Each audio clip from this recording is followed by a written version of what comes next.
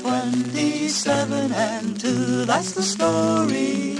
Twenty-seven and two, and the glory was stolen away on the very last day by a small Texas Western fight. They counted Baron Adolph out before they hung the net. They overlooked the magic brood in Baron Rupp's quintet.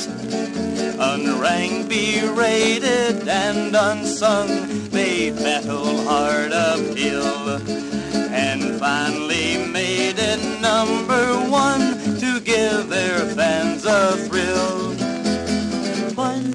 Twenty-seven and two, that's the story. Twenty-seven and two, and the glory was stolen away on the very last day by a small Texas Western fight. They only bowed to Tennessee before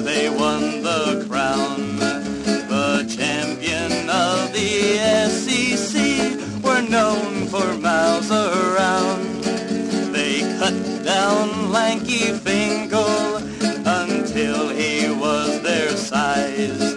They outran mighty Michigan to win the Mid-East prize. Twenty-seven and two, that's the story. Twenty-seven and two, and the glory was stolen away on the very last day by a small Texas Western fight. At College Park they fought the flu and barely got the call.